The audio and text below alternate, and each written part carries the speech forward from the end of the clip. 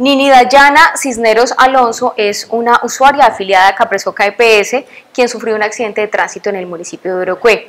Tras sufrir este accidente, fue remitida al Hospital Regional de la Orinoquía, donde le están haciendo todas las atenciones médicas pertinentes. Los usuarios o las personas que tenemos accidentes de tránsito nos cubre inicialmente el seguro obligatorio de accidentes de tránsito, que es el SOAT, que tiene un tope límite de 800 salarios mínimos, que corresponden alrededor de 30 millones 933 mil pesos.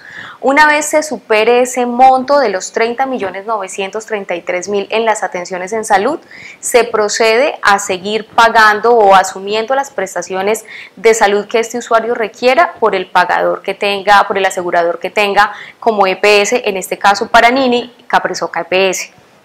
Según informes de facturación del Hospital Regional de la Orinoquía, el valor consumido en servicios de salud para Nini es de 13.749.000 pesos a la fecha.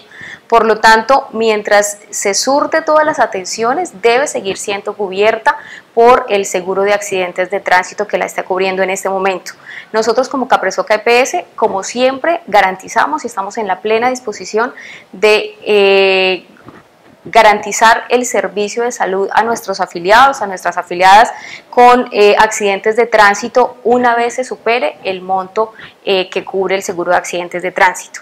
Eh, la usuaria estamos en constante seguimiento y revisión, no solo de, que, de, de en qué momento se supere el monto, sino de que efectivamente se le estén practicando todas las atenciones médicas correspondientes para poder nosotros asumir la prestación del servicio una vez se supere este tope.